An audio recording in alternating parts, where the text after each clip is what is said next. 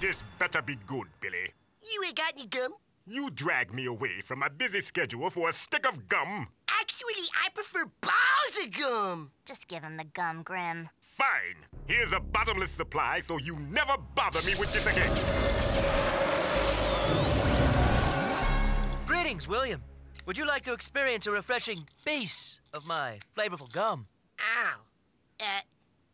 Talk. Certainly. I speak 42 different languages, including Dutch, French, the binary language of moisture vaporators, Klingon, Yeah, Hindi. see, the thing is, I was kind of hoping for gum that didn't talk.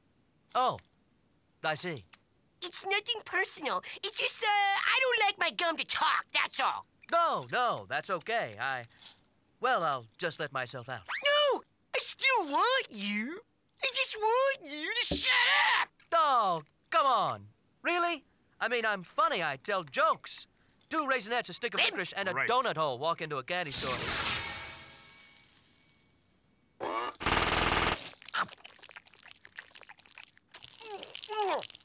Thanks, Grim! Yeah, yeah. Just remember, don't swallow this gum. Why not? Trust me, you don't want to know. If I had skin, it'd be crawling all over the place.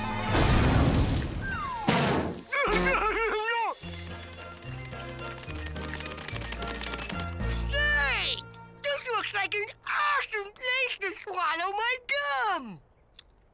Dr. Jones!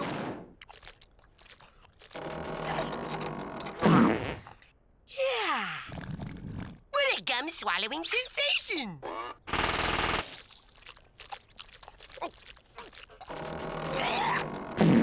Mmm, swallow delicious! I thought Grim warned you not to swallow that stuff. Yeah, yeah, yeah.